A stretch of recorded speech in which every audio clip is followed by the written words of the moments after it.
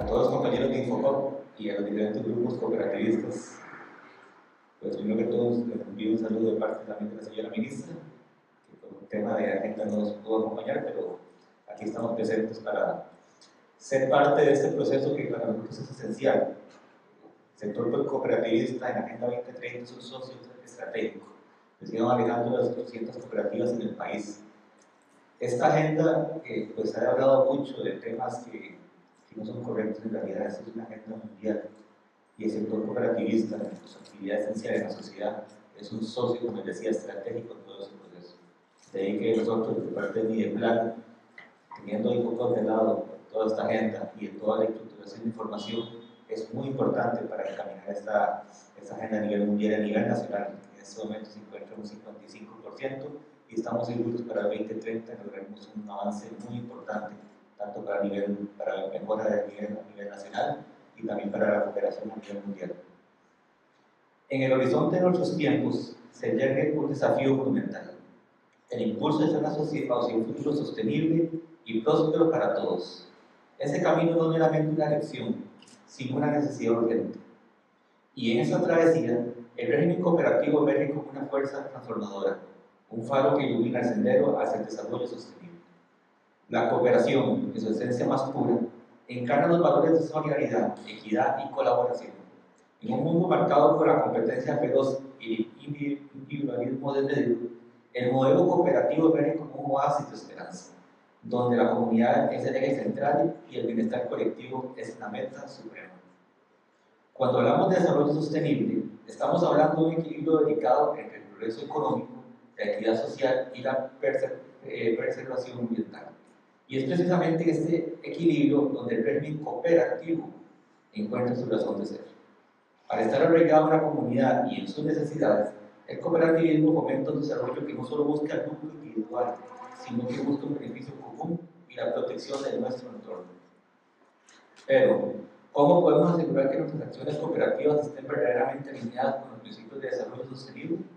Es aquí donde entra en juego la necesidad de generar datos para la toma de decisiones desde el sector cooperativo. Los datos son el alma de la toma de decisiones informadas.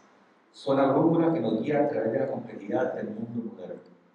En el contexto cooperativo, los datos no solo proporcionan una comprensión clara de las necesidades y aspiraciones de nuestra comunidad, sino que también nos permite evaluar el impacto de nuestras acciones y ajustar nuestra trayectoria en consecuencia.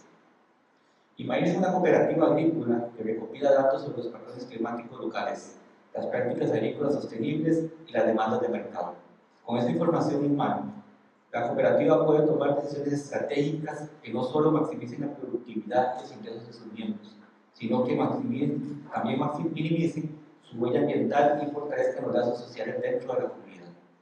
O consideren una cooperativa de energía renovable que recopila datos sobre el consumo energético de sus miembros, los recursos disponibles y tecnologías emergentes. Con estos datos, la cooperativa puede diseñar soluciones energéticas personalizadas que no solo reduzcan los costos para sus miembros, sino que también impulsen la transición hacia un sistema energético más limpio y resiliente. En última instancia, la importancia del régimen cooperativo para el desarrollo sostenible y la necesidad de generar datos para la toma de decisiones desde el sector son dos caras de la misma moneda. Ambos son pilares fundamentales en la construcción de un futuro más justo, próspero y equitativo para todos. Con el relanzamiento del Pacto Nacional de los ODS el pasado 3 de octubre, se logró incorporar el sector cooperativo representado por Infocop dentro del marco de gobernanza de los ODS un actor fundamental para el avance de la Agenda 2030 en Costa Rica. Una integración en este momento crucial de nuestra, historia. Hagamos un llamado a la acción. Unamos los sensores de la realidad, abracemos el poder transformador del cooperativismo. Juntos podemos construir un futuro mejor para todos sin dejar a nadie atrás. Esa frase que impulsa las Naciones Unidas en el tema de la Agenda 2030 no debe dejarnos solo una frase abierta eh, sin fondo, sino que nos tiene que decir que en este barco estamos todos juntos. Esta es la Agenda 2030 para todo Costa Rica y también hay proyectos ustedes saben muy bien que han impulsado que vienen de desarrollo para, para Costa Rica.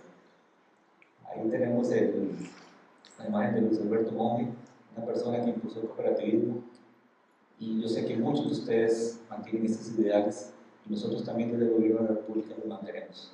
porque todos, como les decía, en un solo barco, buscamos soluciones para el país en todos los aspectos sociales y económicos. Y de parte de mi plan, la señora ministra, todo el equipo técnico de mi plan, y ahora con ustedes como socio estratégico, estoy seguro que vamos a ir por el camino correcto el desarrollo de las, y el objetivo de las metas nacionales. Y sobre todo, buscar el bienestar para todos los ciudadanos de Costa Rica. Muchas gracias.